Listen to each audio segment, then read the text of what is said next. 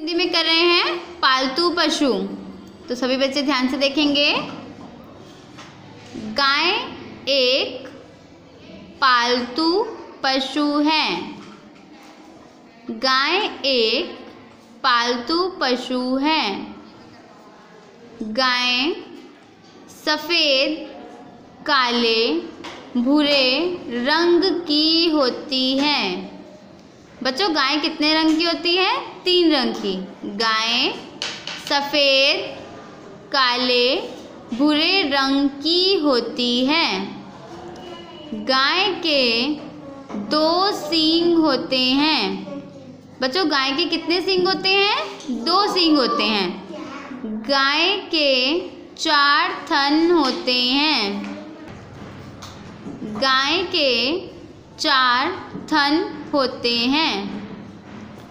गाय की एक लंबी पूंछ होती है।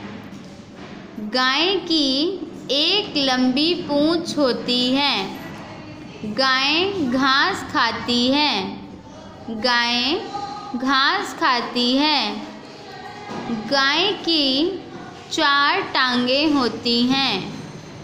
गाय की चार टांगें होती हैं। गाय हमें दूध देती है। गाय हमें दूध देती है। गाय के दूध से हमें ताकत मिलती है। गाय के दूध से हमें ताकत मिलती है। गाय को हम गौ माता भी कहते हैं। गाय को हम गौ माता भी कहते हैं। बच्चों, आज हमने ऐसे करा है पालतू पशु। तो हमने गाय के बारे में बताया है। गाय एक पालतू पशु है। वो तीन रंग की होती है, सफ़ेद, काले, भूरे।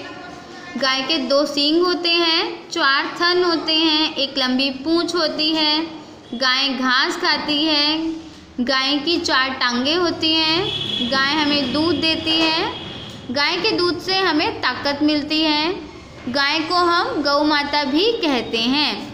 सभी बच्चे ये ऐसे अपनी कॉपी में लिखेंगे साफ़ साफ़ सुंदर सुंदर लिखेंगे, ऊपर पहले हेडिंग डालेंगे, पालतू पशु आज की डेट डालेंगे सुंदर सुंदर हैंड राइटिंग में लिखेंगे। एक बार दोबारा से पढ़ देती हूँ मैं आपको। गाय एक पालतू पशु है। जब आप लिखोगे तो बोल बोल के लिखना सभी बच्चे। गाय एक पालतू पशु है। गाय सफ़ेद, काले, भूरे रंग की होती हैं। गाय के दो सींग होते हैं। गाय के चार थन होते हैं। गाय की एक लंबी पूंछ होती है। गाय घास खाती है। गाय की चार टांगें होती हैं।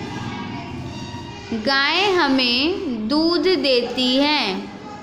गाय के दूध से हमें ताकत मिलती है। गाय को हम गौ माता भी कहते हैं। सभी बच्चे मात्राओं का ध्यान रखेंगे।